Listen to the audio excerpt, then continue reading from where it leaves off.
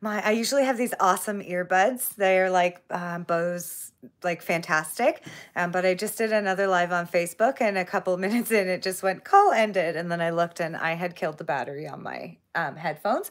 So I'm just going to do a quick live today. I'm not going to stay on super long. Um, I'm just going to show you a quick stretch and fold, do a quick little discussion about the essential processes of sourdough, um, and show you the next little tutorial that I've been working on over the last couple of days. Um, so as we go, if you have any questions, put them into the live chat. I uh, it helps me, it encourages me, um, makes me feel better when I can see that you guys are there and participating. And I really like answering those questions. So definitely ask as we go. Um, so I'm just going to turn my camera here and show you what we're working on. So check out this little guy. So we took the beginner bread recipe, so just our regular um, beginner bread recipe, increase the hydration slightly. So on the YouTube channel, please subscribe, you know what I mean? Please comment on everything. Please help me grow the following. But on my YouTube channel, right at the top of the main page, there's the beginner bread recipe. Um, this is the basic essential recipe that we recommend beginners start with. It's easy, it's easy to follow, it's easy to manage. It gives you a high chance of success when you're just just starting out with sourdough. Um, the level two hydration is where you sort of mastered the beginner bread recipe. You're starting to feel really comfortable with sourdough. And so now you increase your starter and your water slightly um, to start taking that slightly denser, low hydration loaf that you've been practicing with and getting towards a lighter um, inside crumb and a crispier crust. So I mixed up the level two hydration beginner bread recipe and I um, practiced a bunch of processes, but here's what I ended up deciding to go with. I did the essential processes in order. So I fed my starter before bed. I got up in the morning. I mixed my dough to a shaggy dough. I stretched and folded with 30 minutes rest in between. Janine Roberts says, Wow, I love baking. Thanks for being here, Janine. I love seeing you here. Um, I finished my stretch and fold, so four sets of stretch and fold. So that's about, now we've been in about two hours. I let my dough bulk proof in my clear straight sided containers. So make sure on the channel you go to the baking um, bread playlist and watch the bulk proofing success video. After the beginner bread recipe, it's the number one game changer for making sure that your dough, your bread is coming out beautifully um, because it's almost always if your sourdough is messed up, it something happened in the um, in the bulk proofing phase. So this method that we use helps to improve that and I'll talk about that in a second. Sandy says, love the level two. Oh, good. I'm so glad. It's I always use the level two. So what's the difference? So the beginner bread recipe, both recipes use a thousand grams of flour and 20 grams of salt and make two loaves. You can split it right down the middle if you just want a single loaf. The beginner bread recipe uses 120 grams of starter and 680 grams of water. The level two hydration uses 200 grams of starter and 700 grams of water. So it's not a huge water difference. It's only 20 grams, but 20 grams can make a big difference. Um, but it's an increase in the starter, and starter certainly contributes to hydration, right? You've got a third starter, a third flour, and a third water, right? So there's water in there. The water and flour kind of cancel themselves out, but that third of starter that you've gotten in, got in there had already started to ferment. And what happens to flour and water when it ferments? It eventually turns to liquid. So depending depending on how far into the fermentation process your starter is, the more it's going to contribute to the hydration in your bread. So it's harder to quantify, but we find that adding 200 grams of starter and the level two hydration with just that slight water increase increases the, the nice good spring of your loaf and the crispy outside loaf and the good crumb on the inside, but keeps it from being too sticky. So took my level two hydration. I finished bulk proofing it in the containers. I dumped it out of the container. I pre-shaped it into one dough. So I got it, got rid of that stickiness, built some nice tension, got it into a nice perfect circle. Took my knife and cut it into four equal sizes. And then I pre-shaped each one of these four little guys. So now I've got four equal sized doughs. They worked out to about 250 grams each. Um, then I let them rest. I flipped them over and shaped them just like I always did. So stretch out that dough a little bit, laminate, or sorry, make a pamphlet, right? Fold the top third down and the bottom third up, turn it sideways, roll it, make it into a nice ball. I took these little ramekins. Everybody's got something like this around the house. I lined them with parchment paper, like shoved as much parchment paper in there as I could, as tightly as I could. I took my little dough balls that were now shaped, really well floured. The parchment paper was really well floured. Flipped them into these ram ramekins with seam side up, sort of sewed up those seams to build good tension, and then stuck these in the fridge and cold proofed them overnight. Um, and then in the morning, I took them out, dumped them onto little mini squares of parchment and baked them in these. And who doesn't have these around? And if you don't, then your mom does or your neighbor does, or you can find them at the secondhand store. These things are so common. And sourdough for beginners, right? I'm always trying to make things easy for people, right? I, and the easiest thing is to be able to use what you've already got in the fridge. Um, so I banked these little guys in here. Now, I'll show you something. This is not fitting. When I actually took them out of the oven, they had expanded on the bottom and I actually had to take a, a butter knife and sort of pry them out. So it wasn't quite the right size. So I am going to do this again today with one of the doughs that I have mixed up. I'll show you how to stretch and fold these in just a second and talk about the processes. But this time I'm going to cut it into six instead of four. And I think I'm going to use uh, my muffin tins with muffin liners to cold proof these in. Um, I've seen lots of people doing that. Um, but I think once all of this is all said and done, I've taken tons of pictures and tons of video and sort of walked through. I might combine this all into one tutorial. Use this recipe, you know what I mean? Follow this process at this exact point in the process. Do this with the dough and make yourself either four or six of these um, amazing buns. So they're squishy, they're soft. Look at the beautiful crumb. They smell amazing. My daughter actually dug hers out and put her sandwich stuff inside of it. Um, my husband's sandwich was about that big when he was done. We had to like squish them down to make them fit. So I'm just to go a little bit smaller. So I thought you guys might like that. I haven't posted about these anywhere on social media yet. So if you're watching this and seeing this live, you're the second people to see it. I just showed them on Facebook a few minutes ago, but same thing during a live. So no posts. Um, but if you're here and you're not already subscribed to the channel, I would love it so much if you would. Um, it helps me. And then of course you'll see these tutorials as they come out. So this is the level two hydration beginner bread recipe. I mixed it up this morning. It's had one stretch and fold done. Excuse me. I have got a little bit of a cold. I have started, um, I used to mix my two doughs in a big bowl and leave the doughs in that big bowl until the stretch and fold process was over. So I would do my four sets of stretching and folding in this big steel bowl. But a member in our group who makes beautiful bread, so we have a huge group on Facebook. It's got uh, 750,000 members or something. We started it and one of our members makes beautiful bread and he made a post about how he's always trying to really retain the moisture in his dough from the time he mixes it. Excuse me, I've got a tickle. Excuse me. So I've been trying his method all week and it's actually been working great. What I did was I mixed up my bread. I split my bread as soon as it was done being mixed into my two bulk proofing containers.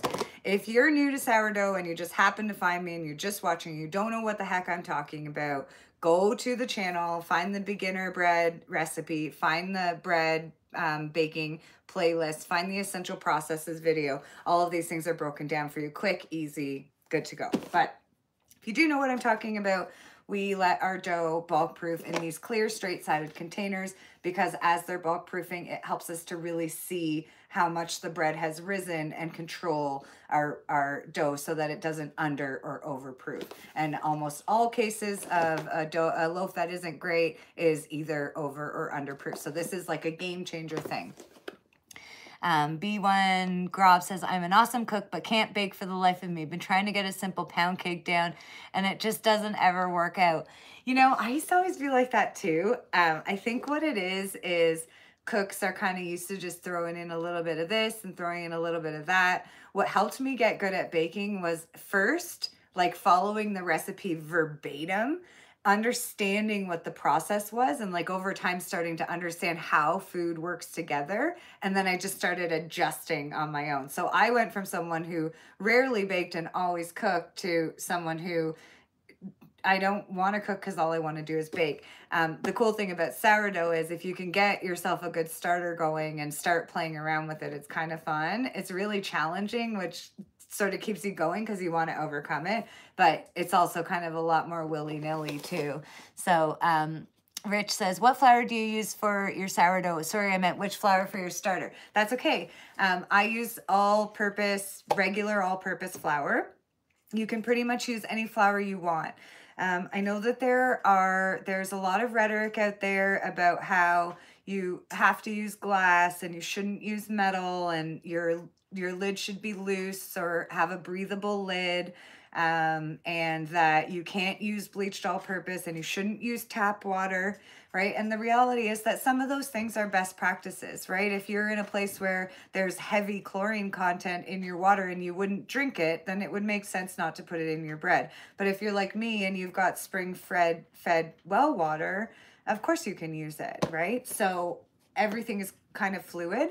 Um, but as a person who focuses on teaching beginners and making the process easy for people who are totally new to sourdough and just first encountering it, I like to use the simplest materials and the simplest ingredients possible um, to make it accessible to everybody. So later you can start to graduate. But another great thing about all purpose is that it's the cheapest flour. So if you mess up half a dozen loaves, you don't feel so bad about throwing it away versus had people message me in a panic being like, there's $40 worth of rye flour in here and trying to help them. So, all right. So this bread was mixed in the big bowl. I split it right after the mix into my bulk proofing containers. I've completed one set of stretch and folds. This is gonna be my second set of stretch and folds.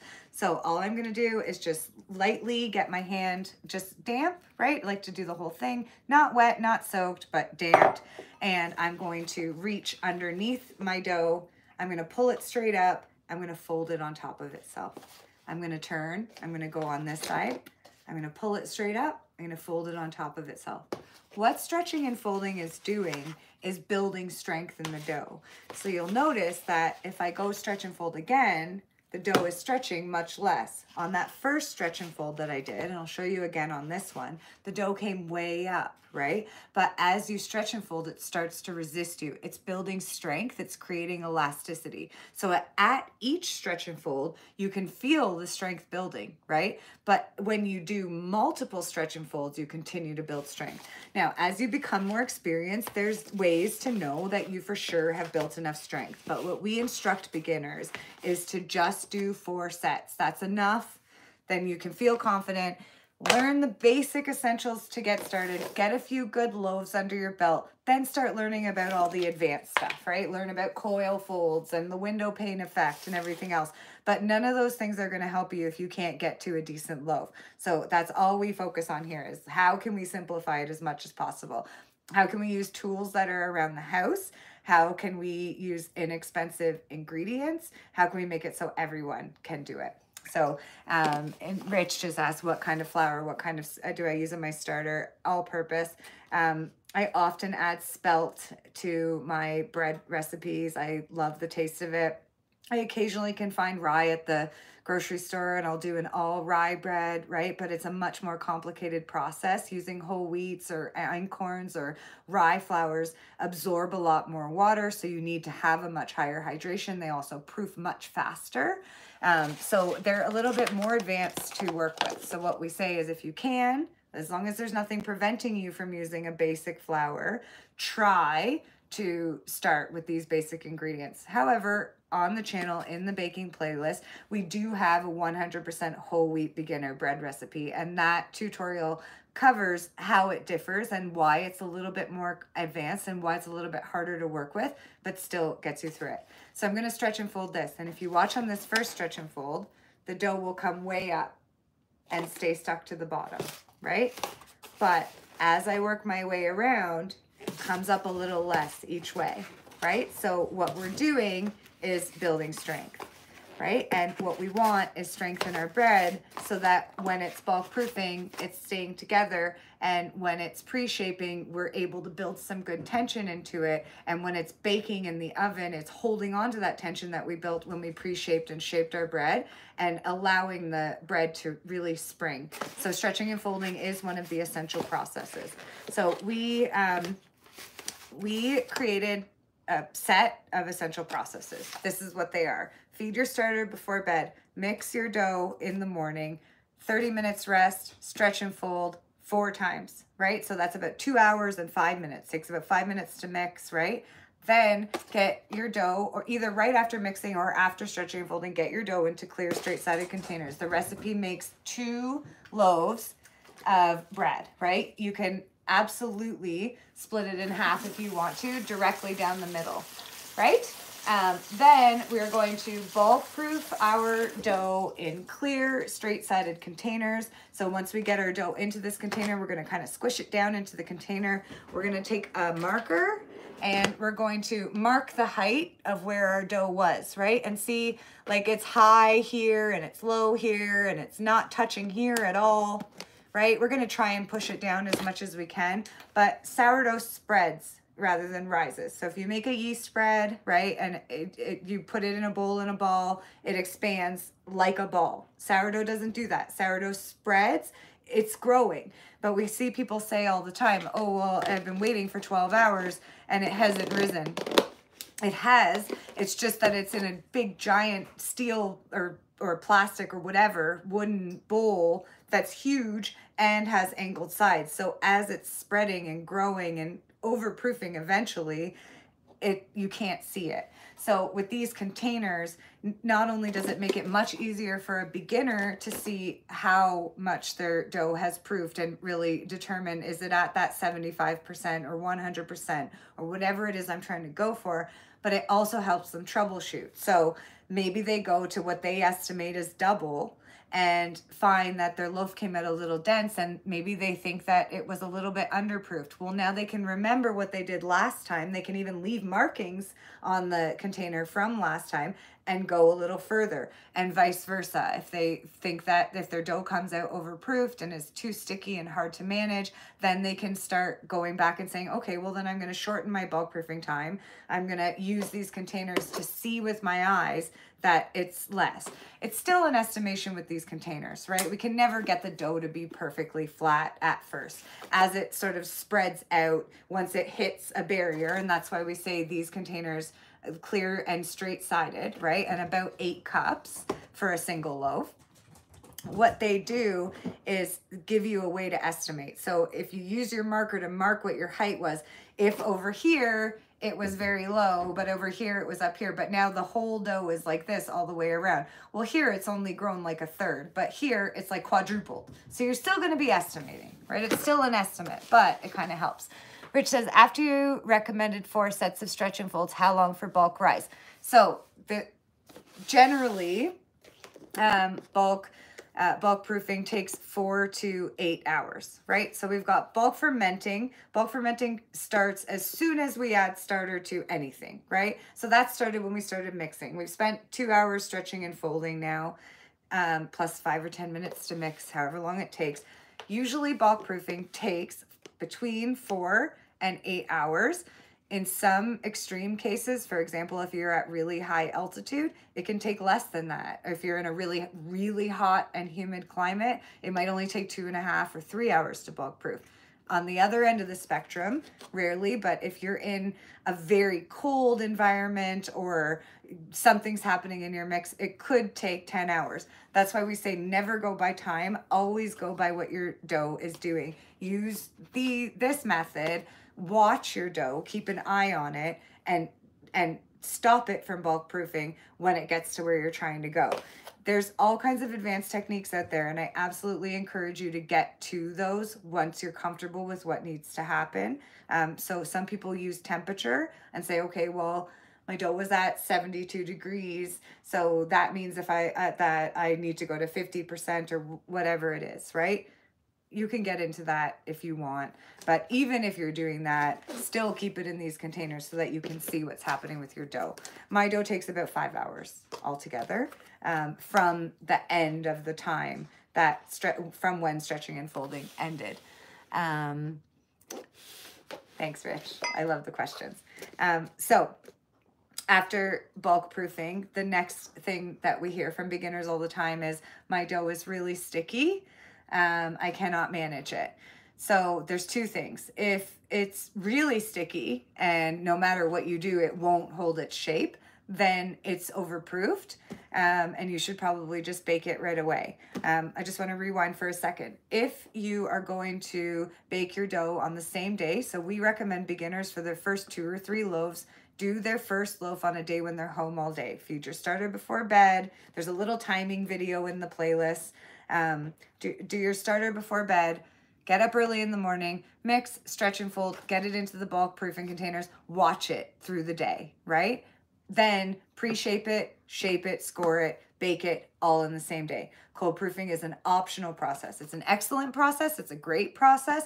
But if you're not getting bulk proofing right, cold proofing is just going to magnify the situation. If you underproofed, cold proofing might fix it, but it'll then it'll keep you underproofing, right? Might fix it a little. If you overproofed, cold proofing is just going to make it worse. So what we say is skip it at first. Now, once you start incorporating cold proofing, we say if you're going to bake the same day, let your go dough go to 100%. If you're going to cold proof, let your go dough go to 75%. As you become more, more experienced, as you begin to understand the dough, you can start being more precise, right? You can start incorporating in following temperatures or experimenting with going on a, a, a big overproof and how that affects the dough, right? But just at first, when you're trying to get used to those scenarios, do that. So four to five hours from my last stretch and fold, now my dough is, is um, at about 75% because I'm going to cold proof and make um, these little buns that I just showed you again, except I'm gonna do six instead of four this time. I'm gonna take this dough out, I'm gonna pre-shape it. So two kinds of sticky. Sticky and won't hold its shape, overproofed. Sticky, when it first comes out of the bulk proofing container, totally normal. The reason that we stretch and fold sourdough is because it is sticky. It's supposed to be sticky. That's the way it is. Pre-shaping helps manage that. Can I bake the dough right out of the fridge then, or should I wait for it to get to room temp? Right out of the fridge. I like doing it right out of the fridge. I think it holds its shape a little bit better, but straight out of the fridge or bringing it to room temp, I've tried both ways. They both work fine, so it's all personal preference. For me, like I keep my um I keep my starter in the fridge already fed. So I feed my starter right after I mix. I let it double on the counter, then I stick it in the fridge and 2 days later, I pull it straight out of the fridge and bake with it. So, and I mean, this so this was fed 2 days ago.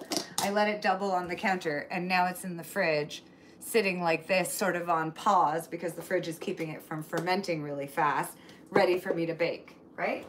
So, um I think either way is fine, whatever you prefer. Pre-shaping, we use a bench scraper or me, if you've seen the video, people make fun of me all the time. I use like a straight-sided knife. I dump this super sticky dough out onto the counter. No flour, no water. I touch it as little as possible with my hand at first. I use the bench scraper sort of just slightly underneath the dough and start pulling it in a circle so that it starts gathering. And when we pre-shape like that, as we keep going around, and I've got a pre-shaping video in my shorts and um, in the baking tutorials, and you'll see what happens is at the beginning when you touch that dough, you put your fingers on it and you pull it up, it's so sticky. And if you tried to shape that into a loaf, it wouldn't work very well, especially if you're inexperienced and don't necessarily know how to handle that dough, right? So you're gonna say it's too sticky, it's ruined, right? But that's not the case if it's not overproofed. If it's perfect otherwise, what you do is you do this pre-shaping. Pre-shaping builds tension into the dough, so it starts bringing the dough into itself. Right now, it's all spread out. It's been it's been bulk proofing for four hours. It's been spreading, right? It's been building all of these bubbles and blending your your gluten structures together, right? Now it's so it's gotten used to being spread out, right? Now we do our pre-shaping and we're gathering it together. We're trapping that air inside. And by the time you're done pre-shaping, you should have sort of a, a fairly perfect half ball sitting on your counter and you should be able to rub it and there's like a skin on the outside. We let our dough rest after pre-shaping for 20, 30 minutes or so. Um, and then we um, do our final shaping. Teresa says, what flour do you use? I use a lot of regular all-purpose flour, um, and then I often add things like spelt or rye or anything else. Um, Rich, that's so helpful. See you later. Thanks for being here, Rich. I love it. Um, so after the pre-shaping, then we take our sort of nicely shaped dough that's got this skin on top. We stick our hands underneath. We stretch it a little bit, flip it over onto the counter. And now this is when we're going to use flour, right? We've got flour on the counter. We make a pamphlet with our dough, fold the top third down, the bottom third up, roll it into our loaf, shape it into our loaf shape. And then at that point, we are either going to score it and bake it or drop it into a banneton and cold proof it and continue on from there. So those are the essential processes. Everything else is either optional or advanced. So that's what we're teaching. Anyhow, I just wanted to pop on quick and show you guys the stretch and fold and show you guys my little bun that I'm super excited about. That's going to be my next tutorial. Um, if you're not subscribed already, please do. And if you stayed and watched this whole thing with me, thank you so much. We'll talk to you all again soon.